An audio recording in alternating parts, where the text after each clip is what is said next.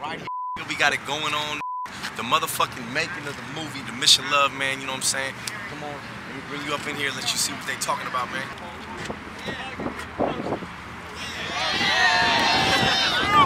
And if it ain't the poster, it's definitely in the movie trailer. What's up? What's up, baby? What's happening? Uh, so again, like my brother said, the movie making seems like a, a very glamorous process, but in fact, it's very Look at him.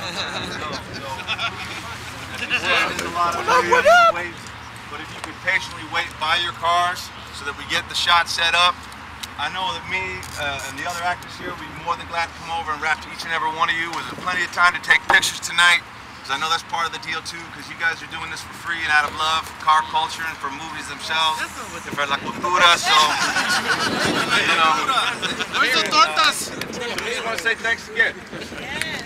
And, and relatives, one thing we want to make clear is that uh, one of the, one of the things that we're trying to convey in the story, the Mission Boys, they all they're all lowriders.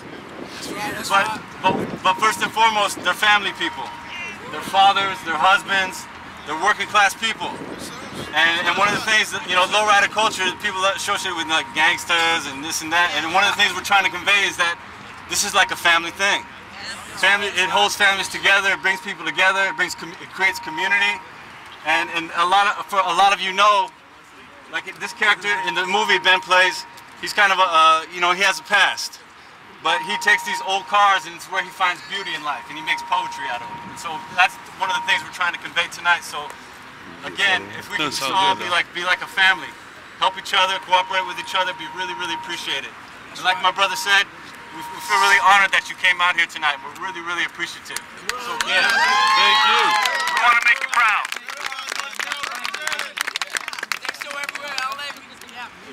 So, so right now, I think uh, for uh, for the crew, if we could have a lot of the owners go to your cars, so we can uh, kind of map it out and kind of give you the heads up of how things are going to progress through the evening.